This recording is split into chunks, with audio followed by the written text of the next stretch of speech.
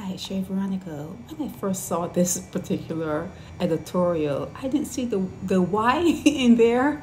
And I thought it meant something completely different, but then I had to do a retake. Anyhow, bullying is part of the culture in Barbados, okay? It is nothing to shy away from. It is who you are.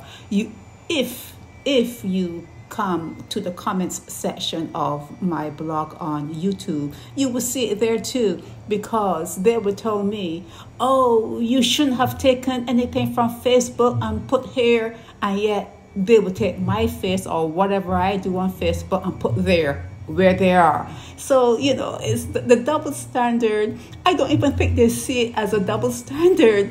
They'll be talking about laws and they'll be talking about this and they'll be talking about that, and they do it.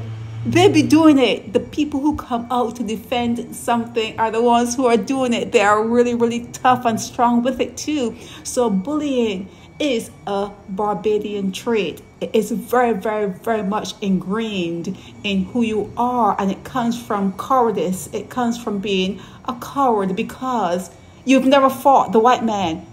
You didn't do the fight. You didn't fight the fight, okay?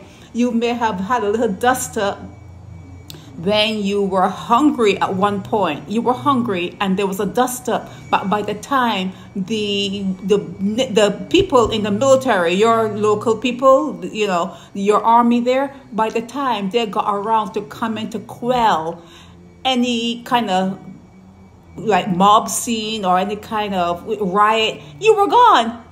You were gone. In fact, it is written in your history that one of the people from the army said, Oh Lord, I cleaned up my gun and I had everything together. I just wanted to shoot one person, just one person. He didn't even have the opportunity to fire his weapon and he lamented. He lamented. Why?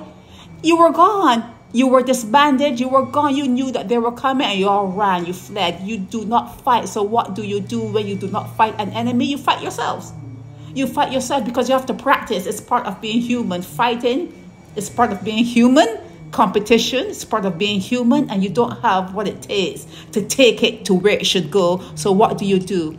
It's, it, it's turned back to yourself and it's turned back to people that look like you and who sound like you and who are there probably the only people that you have to help you you turn on those people so bullying bullying is not only uh, the family the bullying family is the Bajan family is part of your culture. This is Shay.